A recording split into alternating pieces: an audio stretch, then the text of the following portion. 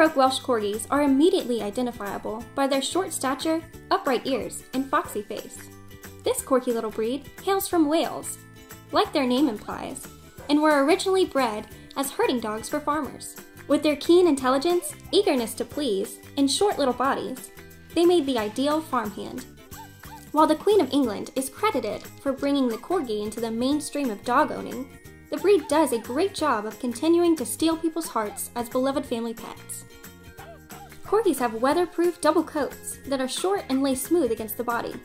The color ranges from a rich red or fawn to black and sable with white markings, giving them a tricolor appearance. They typically weigh around 22 to 28 pounds and have an average lifespan of 10 to 12 years. Pembroke Welsh Corgis are active, animated dogs that never want to be left out of the action. In their own minds, they are big dogs and small bodies. Think you can handle this quirky little breed? Give our staff a call today.